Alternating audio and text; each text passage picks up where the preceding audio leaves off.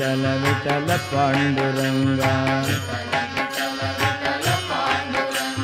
விட்டல விட்டல விட்டல பாண்டுரங்கா. விட்டல விட்டல விட்டல பாண்டுரங்கா. விட்டல விட்டல தன்னை சொல்லிக்கிறாருங்க நான் நான் ரொம்ப தன் கிருஷ்ணாயா தன்யோ ஹே கிருஷ்ணா சம்போதனம் தான் அவருடைய கீர்த்தனை எல்லாமே பகவானை கூப்பிட்டு கூப்பிட்டு பேசுறது. ராதா கிருஷ்ணா. அது மாத்திரமா நான் தன்யோகன்னு எனக்கு சொல்லிக்கிறது உண்டு இல்லை. நான் இப்படி பஜனை பண்ணிவிட்டு வெளியில் போனேன்னா நான் நடந்து வந்த பாதையாக பார்த்து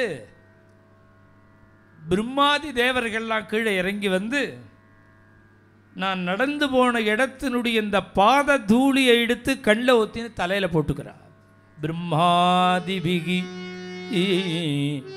மன்யோகம்.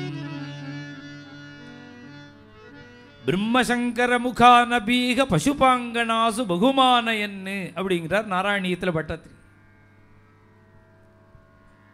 இந்த ராசக்கிரீடைக்கு வந்துட்டு திரும்பற இந்த கோபிகைகளுடைய பாததூளிய பரமேஸ்வரன் பிரம்மா இந்திரன் முப்பத்தி முக்கோடி தேவதைகளும் தலையில தரிச்சுக்கிறா அங்க பிரதட்சிணம் பண்றா பகுமானயன்னு அப்படிங்கிறா. அப்போ அது பிரம்மாலாம் அவ்வளவு ரெஸ்பெக்ட் கொடுப்பறான் மரியாதை கொடுப்பறான் பூஜ்யதா புத்தியோட கூட இருப்பார். பிரம்மாதிபிகி மான்யோ வேற என்ன வேணும் எனக்கு? வேற என்ன தேவை? தன்யோகம். அதை பண்ணணும் இதை பண்ணணுங்கிறதுலாம் கிடையாது. ஸ்ரீகிருஷ்ண பாதாரவிந்த ஸ்மரண மாத்திரேனா.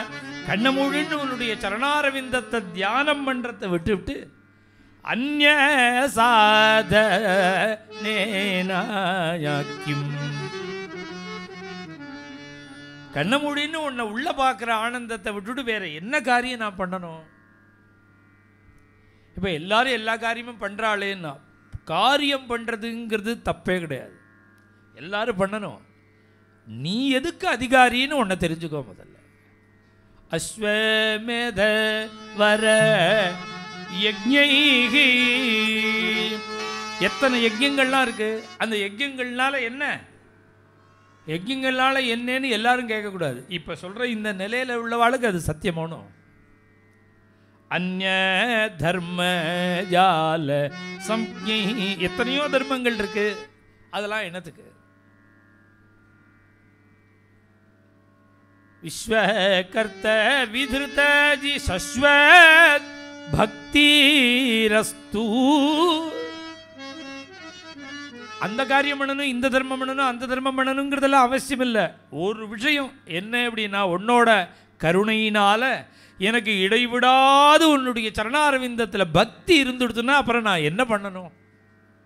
சஸ்வத் பக்தி ரஸ்து தவ கிருபா மாத்திரேனா.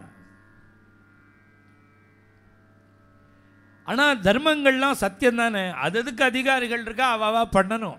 கங்கா பிரமுக தீர்த்த ஆச்சரணை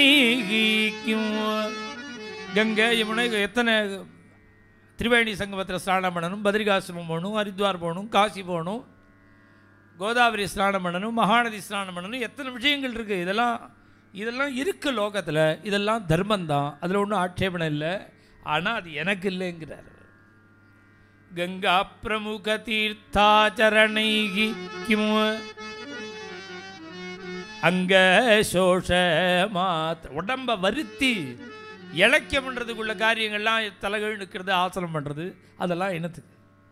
என்னத்துக்கு உட ஊர் ஊராக அலையிற? ஊர் ஊராக முழுகிற? முழுகின்றே இருந்ததுனால வைகுண்டமாக போகிற இப்படியே கங்கையில் ஸ்நானம் பண்ணிகிட்டே இருந்தால் வைகுண்டம் கிடச்சிருமான்னு அது ஆட்சேபிக்கிறேன்னு அர்த்தம் இல்லை இவருடைய அபிப்பிராயத்தில் சொல்கிறேன் கங்கையில் ஸ்நானம் பண்ணிகிட்டே இருந்தால் வைகுண்டம் கிடச்சிரும் அப்படின்னா கங்கையில் முந்நூற்றறுபத்தஞ்சு நாள் ஸ்நானம் பண்ணிகிட்டே இருக்குது தவளை. மீன். மத்ய ஸ்நானபரகா ஒரு ஸ்லோகம் இருக்குது இப்படி. எப்போதும் ஸ்நானம் பண்ணிகிட்டே இருக்கு அதுக்கு என்ன வைகுண்டத்துலேருந்து விமானமாக வருது? மகாத்மியத்தினுடைய ஞா- மகாத்மிய ஞானத்தோட கூட எந்த காரியம் பண்ணுறோமோ அதுதான் பலனை கொடுக்கும். கங்கா பிரமுக தீர்த்தா கிமு.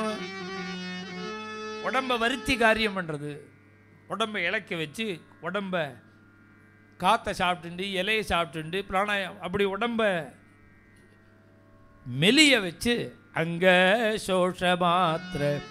இப்படிலாம் உடம்ப வருத்தி என்னதுக்கு பண்ணணும்? சுலபமாக இப்படி ஏசியில் உட்காந்துண்டு ஃபேனை போட்டுண்டு. மங்களாலயா ஹே மங்களாலயா ஸ்ரீகிருஷ்ணா வாசுதேவா மாதவேதி ஹே மங்களாலயா ஸ்ரீகிருஷ்ணா வாசுதேவா மாதவான்னு சதா ஜிஹ்வா இது மாதிரி உட்கார்ந்துன்னு இப்படி பகவன் நாமன் சொல்றதை விட்டுட்டு இப்படி எல்லாம் சிரமப்படணுமா? கிருச்சிரங்கள்லாம் சாந்திராயணாதி கிருச்சிரங்கள்லாம் இருக்குது வய அதெல்லாம் பட்னி போட்டு செய்ய வேண்டிய காரியம் அது. பிரதம அன்னைக்கு ஒரு பிடி திதி அன்னைக்கு ரெண்டு பிடி சாப்பிடணும் திருதி அன்னைக்கு மூணு பிடி சாப்பிடணும் சதுர் சதுர்த்தி அன்னைக்கு நாலு பிடி சாப்பிடணும். இது மாதிரி வரிசையாக சதுர்த்தசி அன்னைக்கு பதினாலு புடி சாப்பிடணும். அமாவாசையோ பௌர்ணமியோ பதினஞ்சு பிடி சாப்பிடணும். அடுத்த பிரதமையில் ஒரு புடி சதுர்த்தி பிரதமையில் ஒரு பிடி திதியில் ரெண்டு பிடி திருதியில் சதுர் மூணு பிடி சதுர்த்தியில் நாலு புடின்னு கடைசியில் பதினஞ்சில் ஆரம்பித்து சீவ சைஃபருக்கு வந்து அப்புறம் ஒன்றுலேருந்து ஆரம்பித்து பதினஞ்சு வரையில் வந்து இது பிடி கணக்கு சொல்கிறேன் சாப்பாடு. ஒரு பிடி தான் சாப்பிட்டுட்டு இன்றைக்கி இருக்கணும். ஒரே ஒரு பிடி தான் சாப்பிட்ணும் பிரதம அன்னைக்கு. திதி அன்னைக்கு ரெண்டு பிடி தான் சாப்பிட்ணும். திருதி அன்னைக்கு மூணு பிடி தான் சாப்பிட்ணும். பௌர்ணமி வந்ததுன்னா பதினஞ்சு பிடி சாப்பிட்லாம். அப்புறம் பிரதம அன்னைக்கு ஒரே பிடி பதினாலு புடி பதிமூணு புடி அப்படியே மைனஸில் வரணும். வந்து அமாவாசை அன்னைக்கு ஒன்றுமே சாப்பிடக்கூடாது. இதெல்லாம் கிருச்சிரங்கள்னு பேர். இதெல்லாம் நம்மளோட பாபத்தை போக்கிக்கிறதுக்காக சொல்லியிருக்காரு. இதெல்லாம் நம்ம பண்ணிகிட்ருக்கோம் என்ன பண்ணுறது தெரியுமோ? இது மாதிரி கிருச்சரத்தை பேரத்தை பேரை சொல்லிவிட்டு இந்த தோ இந்த கிருச்சரத்தை அனுஷ்டானம் பண்ண முடியாததுனால பிராமணாளுக்கு பணத்தை தரேன்னு பத்து பத்து ரூபாயை கொடுத்துட்றோம். இதெல்லாம் பண்ணுறோம் நாம். இதை பண்ணாதபடி பணத்தை கொடுத்து நம்மளை நாமே ஏமாத்தின்னு இருக்கோம் அதுதான் அவர் சொல்கிறார் ஏன்டா நீ ஏமாறுற? கிருச்ராதி சகல உபவாசைகிக்கும் இங்கே அங்கே போகிறேன் பிரயாக போகிறேன் அங்கே போகிறேன் இங்கே போகிறேன் நீ ஏன் போகிற ஒரு காரியம் பண்ணேன் ஆற்று வாசலில் துளசி இருக்குது கொல்லை பக்கத்தில் மல்லிகை இருக்குது முல்லை இருக்குது தாமரை இருக்குது ரோஜா இருக்குது இத்தனை புஷ்பங்களெல்லாம் எடுத்துன்னு போய் அழகாக கிருஷ்ணனுக்கு அலங்காரம் பண்ணி பட்டு கட்டி விட்டு நெத்தி கட்டி விட்டு திருவாபரணங்கள் எல்லாம் போட்டு அவனுக்கு அன்னன்னைக்கு பண்ணக்கூடிய அந்த சேவைகளெல்லாம் பண்ணுறதை விட்டுட்டு ஏன்டா பட்னி கிடந்து உடம்புக்கு எடுத்துக்கிறேங்க? கோவர்தனோ தார ஸ்ரீகிருஷ்ண தாஸ்ய நைவாஜா தன்யோ.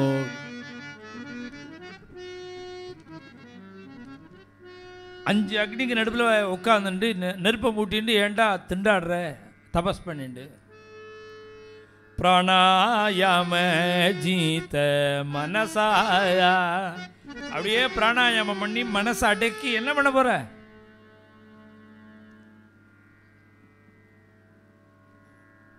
பிராணாயாமம் பண்ணி மனசை அடக்கி என்ன அடு- அதனால என்ன பிரயோஜனம் உனக்கு? கஞ்ச பவஜனகா இப்படி எல்லாம் அஞ்சு அக்னிக்கு நடுப்பில் உட்காந்துன்னு பிராணாயாமம் பண்ணி இப்படிலாம் திண்டாடி சிரமப்படாத அழகாக பாகவதம் சொல்லும்போது உட்காந்துண்டு பகவானுடைய இந்த கதையாகிற ஆனந்த சமுத்திரத்தில் போய் விளையாடுடாங்கிறார் அவர். இருக்கே அக்கதையாகிற அமிர்த சமுத்திரத்தில் போய் லீலா கலித கோப பால லீலா சுதா சிந்து விகரணே நெய்வாயா அப்படி பண்ணு.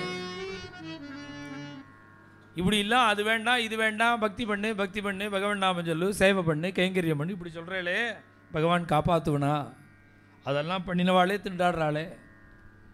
ஒன்றுமே பண்ணாத நம்மளை கிருஷ்ண கிருஷ்ணான்னு சொல்லிட்டு இருந்தால் பகவான் காப்பாற்றுவானாலும் ஏண்டா நீ கவலைப்படுற?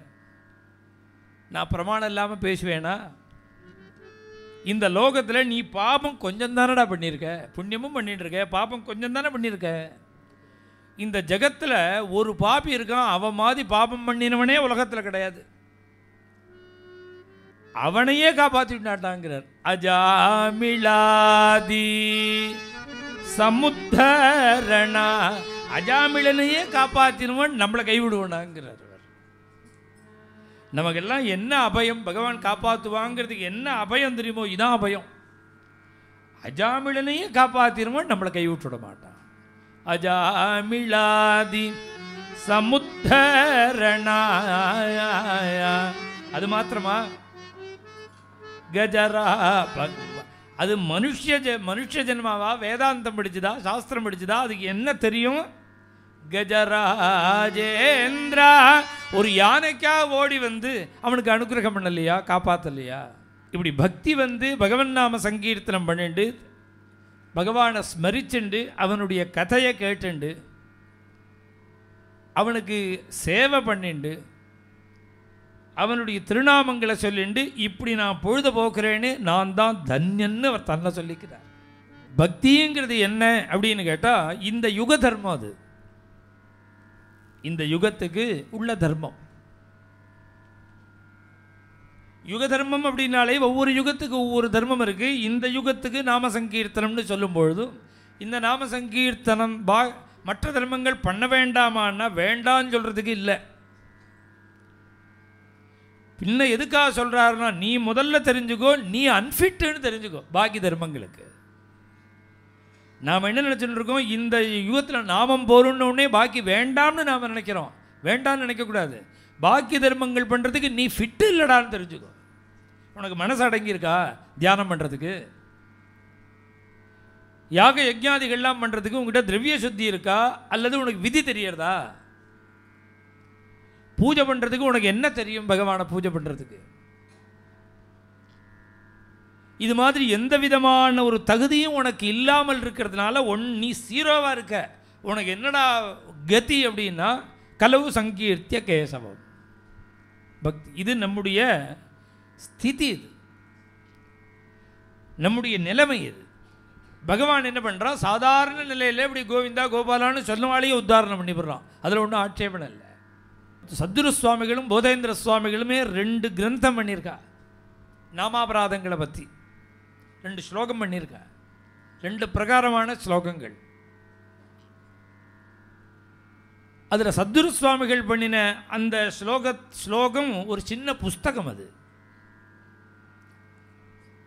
அந்த புஸ்தகத்துக்கு பக்தி சந்தேக துவாந்த பாஸ்கரம்னு பேர் இதுக்கு பக்தியில் வரக்கூடிய சந்தேகங்கள் சந்தேகங்களாகிற இருட்டுக்கு சூரியன் போல.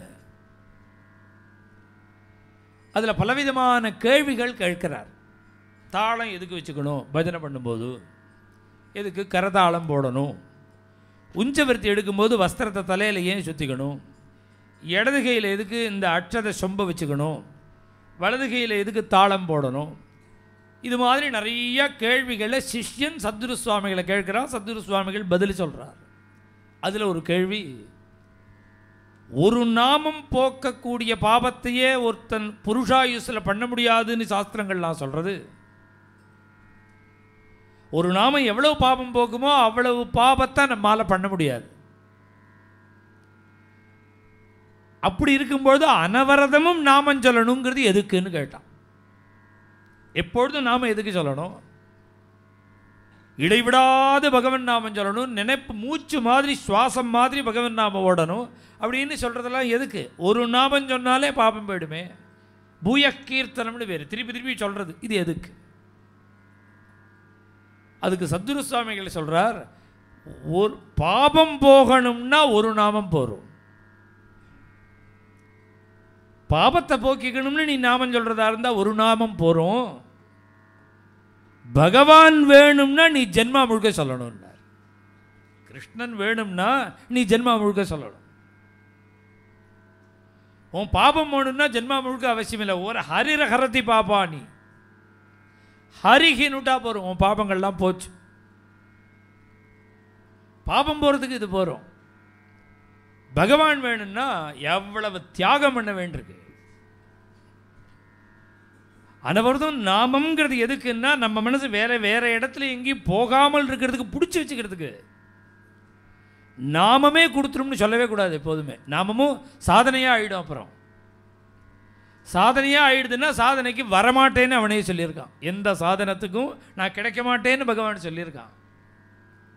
அவன் நீ அனவரதமும் நாமம் சொன்னால் பகவான் கிடைப்பானான்னா தீர்மானமாக கிடைக்க மாட்டேன் பின்ன என்ன பண்ணினா கிடைப்பார்னா நீ அனவரதமும் அந்த பாவத்தில் இரு. உன்னுடைய நினைப்பு வெளியில் போகாமல் உன்னை நீ ஜாகிரதப்படுத்திக்கிறதுக்கு தான் நாமம். ஏதாவது ஒரு காரியம். அதனால தான் பக்தி யோகோ பகுவிதகாங்கிறார் கபிலோபதேசத்தில். பக்தின்னா ஒன்று இல்லை ரெண்டு இல்லை அது அது ஆயிரம் வழி இருக்குது பக்தி.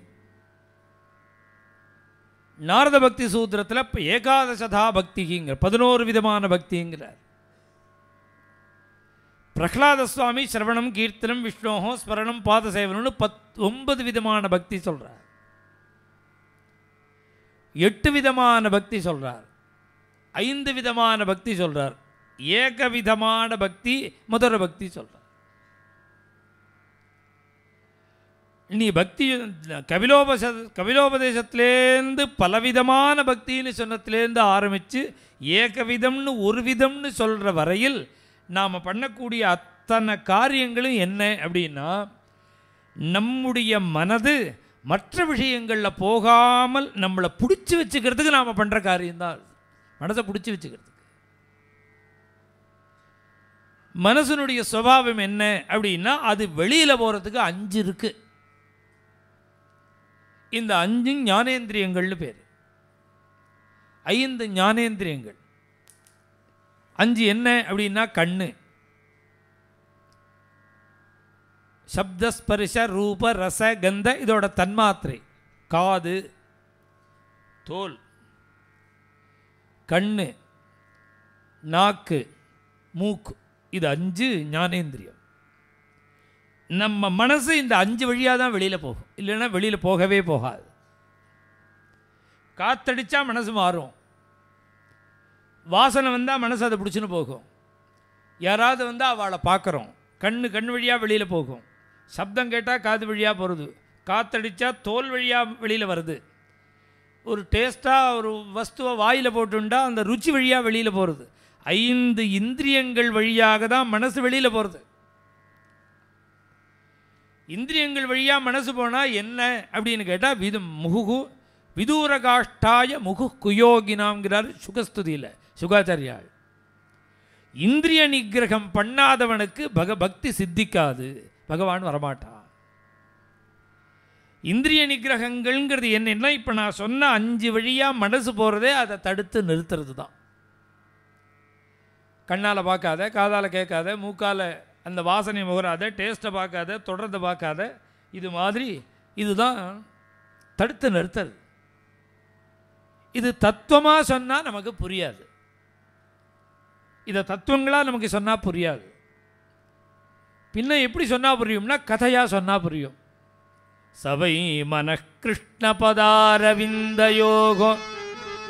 வச்சாம் சிவை குண்ட குணானுவர்ணனே அம்பரீஷ சக்கரத்தினுடைய சக்கரவர்த்தியினுடைய சரித்திரத்தில் பாகவதத்தில் சொல்லும் பொழுது அவனுடைய உடம்பை முழுக்க வர்ணிக்கிறார் இங்க. இந்திரியங்களை முழுக்க வர்ணிக்கிறார். அந்த அம்பரீஷனுடைய மனதுக்கு என்ன தெரியும் அப்படின்னா கிருஷ்ணனுடைய சரணாரவிந்தம் மாத்திரம்தான் தெரியுமா? சபைமன கிருஷ்ண பதாரவிந்த யோகம். அவனுடைய வாக்குக்கு என்ன தெரியும் அப்படின்னா வைகுண்ட குணானு வர்ணனே. அவனுடைய நாமங்களை சொல்கிறது உண்டிதான் நான் வாக்குக்கு தெரியும். அவனுடைய கைகளுக்கு என்ன தெரியும்னா பகவானுக்கு சேவை பண்ணுறது தான் தெரியும். மந்திர மார்ஜனாதிஷு. தொடப்பக்கட்டை வச்சுன்னு பெருக்குவனாம் ரங்கநாதனுடைய பெரிய பெருமாளுடைய சந்நிதியில் அங்கே தானே இருந்தார் அவர் ரங்கநாதன். அயோத்தியில். தொடப்பக்கட்டை வச்சுன்னு பெருக்குவனா. கரவுகரேகே மந்திர மார்ஜனாதிஷு. காதுக்கு என்னடா தெரியும்னா ஸ்ருதிஞ்சகார அச்சுத சத்கதோதயே. பகவானுடைய கதைகள் தான் தெரியுமா. அந்த அமிர்தம் தான் தெரியும் காதுகளுக்கு. கண்களுக்கு என்ன தெரியும்னா முகுந்த லிங்காலய தரிசனே. கோவிலுக்கு போய் பெருமாளை சேவிக்கிறது தான் கண்ணுக்கு தெரியுமா? அவனோட உடம்பு தோல் ஸ்பரிச ஸ்பரிச இந்திரியமான தோல்ங்கிறது. இது ஒரு இது ஞானேந்திரியம் அது. அவனுடைய உடம்புக்கு என்ன தெரியும்னா தத் பிருத்திய காத்திர ஸ்பரிசங்க சங்கமம். பரமபாகவதால ஆலிங்கனம் பண்ணிக்கிற அந்த ஆனந்த ஒண்டி தான் அவனுடைய உடம்புக்கு தெரியுமா? தோலுக்கு தெரியும். அவனுடைய மூக்குக்கு எந்த வாசனை தெரியும்னா கிருஷ்ணனுடைய சரணாரவிந்தத்தில் அர்ச்சனை பண்ணின துளசியோட வாசனை தான் தெரியுமா? கிராணஞ்ச தத்பாத சரோஜ சௌரபே. ஸ்ரீமத் துளசியா ரசனம் அந்த பர பெருமாளுடைய சரணாரவிந்த அந்த சௌ சுகந்தம் தான் தெரியும். நாக்குக்கு ருச்சி துளசியோட ருச்சி தான் தெரியும். இதுபோல தான் அம்பரீஷ சக்கரவர்த்தி சகல இந்திரியங்களையும் லௌகீக விஷயத்தில் விடியா விடாமல் பகவத் விஷயமாக விட்டுருக்கான் இது மாதிரி விட்டாதான் பகவான் கிடைப்பாங்கிறார் சுகாச்சாரியால் சுகஸ்துதியில் விதூர காஷ்டாய முகு குயோகினா. பகவான் வேணும்னா இப்படி இருந்தால் தான் வருவார். அதுதான் நலகோபுர மணிகிரிவன் கூட வாணு வாணி குணானு கதனே சிரவணு கதாயாம் கிருஷ்ணன்டையே பிரார்த்தனை பண்ணுறான் என்னுடைய வாக்கு இனிமே உன்னோட குணங்களை தான் சொல்லணும். காது உன்னோட கதைகளை தான் கேட்கணும். சிரசு உனக்கு தான் நமஸ்காரம் பண்ணணும். கைகள் உனக்கு தான் சேவை பண்ணணும். ஒவ்வொரு இந்திரியங்களையும் கிருஷ்ணார்ப்பணம் கிருஷ்ணார்ப்பணம் கிருஷ்ணார்ப்பணம்னு சொல்லிண்டே வந்தவன் கண்களை சொல்லும்பொழுது மாத்திரம் இந்த கண்களையும் கண்கள் எப்போதும் உன்னையே பார்க்கணும்னு சொல்ல வேண்டி இருக்க கண்களை பற்றி சொல்லும்பொழுது இந்த கண்கள் எப்பொழுதும் சாதுக்களையே பாகவதாலையே பார்க்கணுன்னுட்டான் கிருஷ்ணனை சொல்லலை. எல்லாம் கிருஷ்ணனுக்கு. கண்களுக்கு மாத்திரம் என்னன்னா பாகவதால தான் தரிசனம் பண்ணணும். பவத் தனூனாம்னா அவ என் என்னை பார்க்க வேண்டாமான்னு கேட்டான் கிருஷ்ணன். எல்லாத்தையும் எனக்கு கொடுத்துட்டு கண்ணை மாத்திரம் பாகவத ஆளுக்குங்கிறியே கண்ணால் என்ன பார்க்க வேண்டாமான்னா அதுக்கு நலகோபுர மணிக்கிறவன் சொல்கிறான் நான் ஒன்றை தானே சொன்னேன்னா இல்லை பாகவதாள் என்னன்னா சொல்கிற பாகவதாள் யார்? உன் உடம்பு தானேன்னு விட்டல விட்டல விட்டல பாண்டுரங்கா. चल विठ्ठल पाण्डुरङ्गा